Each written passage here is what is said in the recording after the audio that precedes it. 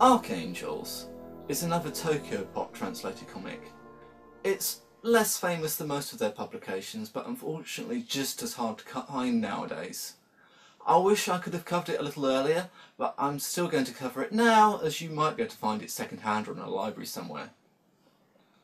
From a small lake at the edge of town, three young girls have emerged. Shem, Hamu and Japheth, sisters from another world.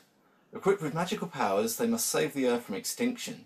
However, there is something sinister trying to stop them, and on top of saving our world, these magical girls have to live like normal human girls. They go to school, hang around with friends, and even fall in love.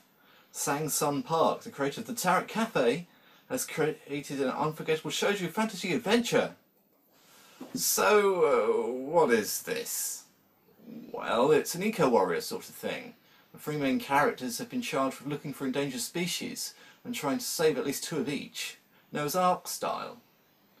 But we're not in for a lecture on the importance of being green or sustainable here. Any eco-friendly message that the story has is more or less lost in the craziness. If you've never read anything from Korea, then this series might come as a bit of a shock to you. Not only are a lot of the usual Korean cliches in place, but the author just assumes that the cliches are a given and uses them without explanation. An example. Despite the fact that they can travel through time and space, the three angels are living in modern-day Korea posing as schoolchildren, for absolutely no discernible reason at all. Also, one is pretending to be a boy, again, for which no reason is apparent nor apparent.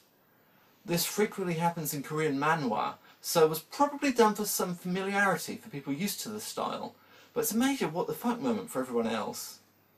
These join several what the fuck moments, such as the fact that any animal being rescued appears as an anthropomorphic human and can talk to the angels, and that the two of the recurring villains appear to be fruits. No, I don't mean gay, I mean literally they are fruit. But none of the above has actually managed to put you off. And you don't mind something so wacky, and Ark Angels is actually quite good. It's a bit difficult to explain why, when the writing and the direction is sort of all over the place. But I think it's because the writing and the direction are deliberately all over the place.